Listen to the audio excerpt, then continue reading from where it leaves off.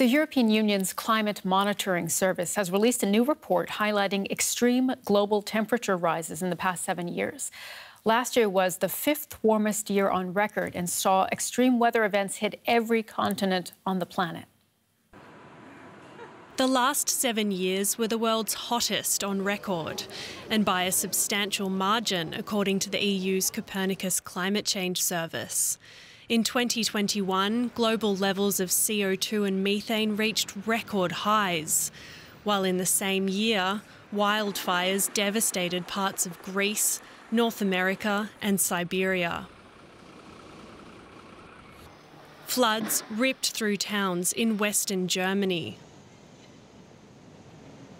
and droughts across Africa led to what was called the first ever climate induced famine in Madagascar.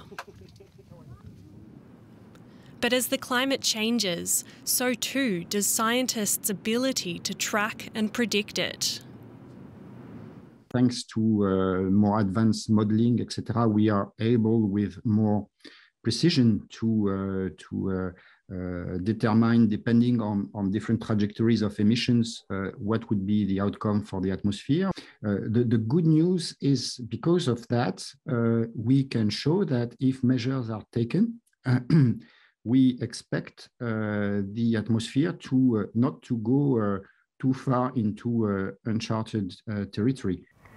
Drastically reducing greenhouse gas emissions is widely agreed to be the best defence against further human induced warming, along with protecting and rehabilitating key ecosystems. But with extreme weather events already hitting, adapting is vital to protect life. Uh, climate change is now happening. We're seeing more extreme weather of many types. We're not prepared for those increased severity and uh, extremity of extreme weather. Uh, so we need to be better prepared. Last year, global temperatures were more than 1 degree Celsius above pre industrial levels leaving only a tiny margin to avoid two degrees or more of warming and the catastrophic effect scientists say that would have on the planet. Germany faces a gigantic task to achieve its climate protection goals. That's how Climate Minister Robert Habeck put it as he unveiled a new report that shows Germany could miss its emissions targets for 2030. DW's Michaela Küfner talked to Minister Habeck about what's standing in his way. Minister Habeck, so the money is there, but how will you convince the 16 federal states to make 2% of their area available for renewables to get over the not in my front yard mentality? I think we have to do both talk with the people, come to a spirit that uh, will make things happen, and on the other hand, going into the regulations. If Germany is now starting building up its infrastructure only on the basis of renewable energies, that means, of course, that the security of the infrastructure relies on renewable energies.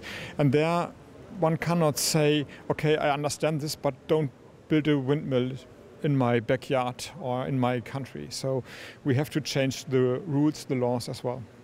So is environmental protection and CO2 neutrality a contradiction in the future? That what seems to be a contrast mustn't be a, con a contrast. We can solve this conflict. We can give nature, the big birds, the uh, sea eagles, and other birds more space, but and find another place for windmills, but we need to find place for windmills. We are talking about 2% of the German, uh, German area for windmills. That means 98% are free for that, and this should be enough space for nature. What is Germany's expectation of its European partners now, but also as it goes into the G7 presidency? The G7 is another possibility and another step to come forward with the outroll of renewable energy and the production of green hydrogen worldwide. And this is the next step now. We are focusing on windmills and uh, solar but in the 2030s, we need huge amounts of green hydrogen for our industry, for our power plants we have then there, now running on natural gas, then switching over to hydrogen. And uh, the talks in the G7 format should uh, smoothen the path for that. Robert Habeck, Trade and Climate Minister, thank you very much. Thank you.